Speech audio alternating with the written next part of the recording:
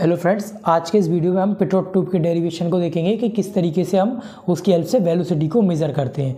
ठीक है, इससे पहले जो हमारी वीडियो थी, उस वीडियो के अंदर हम वेंचुरी पिट्रोट ट्यूब और फ्लो नोजल की जो डेरिवेशन थे, उनको कंप्लीट कर चुके हैं। ये डेरिवेशन का हमारा पिट्रोट ट्यूब का वीडियो है। इस वीडियो के अंदर हम वेलोसिटी को किस तरीके से मेज़र करते हैं पेट्रोल ट्यूब की हेल्प से, उसके बारे में जानेंगे। इससे पहले की वीडियो अगर आपने नहीं दी की है तो उसके प्लेलिस्ट की लिंक आपको डिस्क्रिप्शन में दिए आप वहाँ जाके चेकआउट कर सकते हैं। ये एक सिंपली पाइपलाइन है। इस पाइपलाइन के अंदर हमने एक पीजोमीटर को लगाया हुआ है और एक वेलोसिटी पिटोट ट्यूब को लगाया हुआ है। पिटोट ट्यूब का हमेशा जो एस पॉइंट है स्टेगनेशन पॉइंट है, उस पॉइंट को हमेशा सेंटर लाइन के साथ रखा जाता है। ठीक है, ये जो हमारा है वेलोसिटी हेड है, ये हमारा प्रेशर हेड है। ठीक है तो ये हमारा पीजोमीटर है। पीजोमीटर में ये स्टैटिक प्रेशर हेड होता है। ठीक, ये हमारा स्टेगनेशन प्रेशर हेड हुआ। और इसमें यहाँ पर देखना, जिस लिक्विड जो फिल है इस ट्यूब में, इसके ऊपर का जो पार्ट है, उसको हम बोल रहे हैं वेलोसिटी हेड तो इस वाले के अंदर लिक्विड कम्प्लीटली फिल है। इसमें कोई भी खा, जो एम पार्ट है ही नहीं। तो इसमें जो V two square upon two G वाली टर्म इसमें होगी ही नहीं। ठीक है? तो अभी हम इसमें बर्नौली इक्वेशन अप्लाई करेंगे पी पॉइंट और एस पॉइंट पर। तो बर्नौली इक्वेशन क्या बोलती है?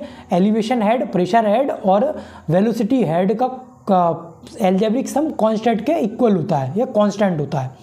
तो हम इन दोनों पॉइंट पे लगाएँगे तो वो एक दूसरे के इक्वल आएँगे। मैं अब यहाँ पर क्या होगा? Z1 और Z2 इक्वल है। पहले मैं इसमें लगाता हूँ ठीक है? तो इस पॉइंट पर वेलोसिटी हेड भी है एलिवेशन हेड भी है मतलब अगर मैं यहाँ से एक लाइन ड्रॉ कर दूँ। मैंने ड्रॉ करना चाहिए था, मैंने की नहीं, यहाँ पर लाइन ड्रॉ है।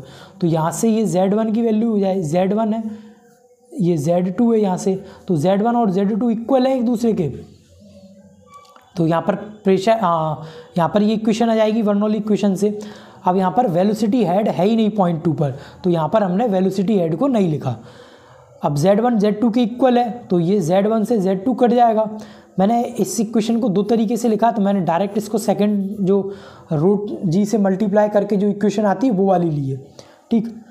Z1 वन से Z1 वन ये कट जाएगा, Z वाली टर्म यहाँ पे क्या बचा? V1 one square upon two G plus P one upon W equal to P two upon W ठीक? अब ये हमारी इक्वेशन है। इस इक्वेशन को हम दो तरीके से लिख सकते हैं। तो मैंने इसको केस वन और केस टू के लिए लिया है। अलग अलग जो डेरिवेशन हमारे न्यूमेरिकल क्वेश्चन होते हैं उन क्वेश्चंस में कभी हमें इस क्वेश्चन की वैल्यूज़ इनकी इन टर्म में वैल्यूज़ दी हुई होती है। कभी हमें इन टर्म में डायरेक्ट वैल्यू दी हुई होती है। तो हमें उस तरी, जो हमें डेरिवेशन में वैल्यू दी है, उसके अकॉर्डिंग हम फॉर्मूले का यूटिलाइज करके हम हमारा आंसर निकाल लेते हैं।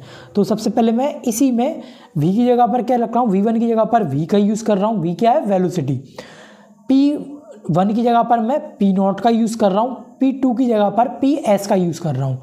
ठीक है पी एस मतलब क्या है? स्टेगनेशन प्रेशर ये क्या है? स्टेटिक प्रेशर पी नॉट ठीक, ये वी वन की वी वन की जगह पर वी आ गया। पी वन की जगह पर पी नॉट पी टू की जगह पर पी एस इस इक्वेशन में। ये प्लस में है, इस साइड लेके आऊँगा, ये माइनस में हो जाएगा। ठीक है, इन दोनों में हम यहाँ पर इसका इस यहाँ से हम बी टू की वैल्यू को निकालेंगे तो ये इंटू में है डिवाइड में है, उस साइड इंटू में जाएगा। डब्लू इन दोनों में कॉमन है वेट डेंसिटी तो वो कॉमन आ जाएगी। तो ये क्या हो जाएगा? टू जी अपॉन डब्लू यहाँ बचा क्या? P S minus P naught. ठीक? वेट डेंसिटी इक्वल टू क्या होता है? रो इंटू जी अब हम वन अपॉन जी को वन अपॉन जी को सॉरी, वन अपॉन रो को क्या लिख सकते हैं? जी अपॉन डब्ल्यू वो क्यों लिख रहा है? क्योंकि हमारे पास जी अपॉन डब्ल्यू की वैल्यू क्या है? जी अपॉन डब्ल्यू है। उसकी वैल्यू हम क्या पुट कर सकते हैं? One upon rho. यहाँ से मैंने स्क्वायर हटाया तो इसके ऊपर अंडर रूड आ जाएगा। अब इस जी अपॉन डब्ल्यू की जगह पर मैंने वन अपॉन रो को पुट कर दिया। तो एक तो हमारा ये फॉर्मूला बन गया। इसकी यूनिट क्या होती है? मीटर पर सेकंड सेम अभी इसी इक्वेशन से मैं इसको लिखता हूँ। पी नॉट अपॉन डब्लू इसको मैं क्या लिख सकता हूँ? एच नॉट ये क्या है? स्टेटिस्टिक प्रेशर हेड और एच एस लिख सकता हूँ पी एस अपॉन डब्ल्यू को, इस वाली टर्म को। ये क्या है? स्टेगनेशन प्रेशर हेड तो मैंने वही इन दोनों को पुट कर दिया यहाँ पर। ठीक, अब ये इस साइड आएगा प्लस का था माइनस का हो जाएगा तो ये हो जाएगा H S minus S naught यहाँ से हम बी टू की वैल्यू को निकालेंगे, हमें वेलोसिटी को ही कैलकुलेट करते हैं हम पेट्रो पेट्रोल ट्यूब में। तो वी टू इक्वल टू ये यहाँ डिवाइड में था मल्टीप्लाई में जाएगा, इसके साथ यहाँ से स्क्वायर हटाएँगे तो ये अंडर रूट में आ जाएगा। ठीक H S minus S naught ये क्या है? एच एस स्टेगिनेशन प्रेशर और स्टेटिक प्रेशर जो है हेड स्टेटिक प्रेशर हेड और स्टेगिनेशन प्रेशर हेड का डिफरेंस है।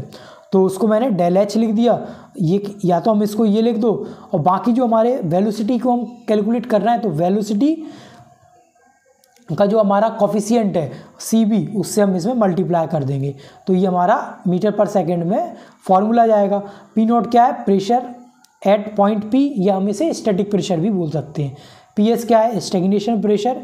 इसे हम पी एस या पी नॉट भी बोल सकते हैं। डेल एच क्या है? Differential difference in stagnation and static pressure V क्या है? वेलोसिटी एट पॉइंट पी तो ये हमारा पिटॉट ट्यूब का डेरिवेशन हो गया। इससे रिलेटेड कोई भी डाउट या क्वेरी है तो आप कमेंट सेक्शन में पूछ सकते हैं। अभी तक की जितनी भी फ्लो मेज़रमेंट की वीडियो है, उनका लिंक और उनकी प्लेलिस्ट की लिंक आपको डिस्क्रिप्शन में दिए आप वहाँ जाके चेकआउट कर सकते हैं।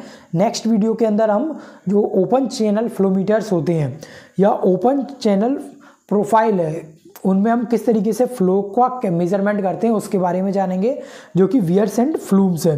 तो उसके लिए आपको नेक्स्ट वीडियो देखना होगा। Thanks for watching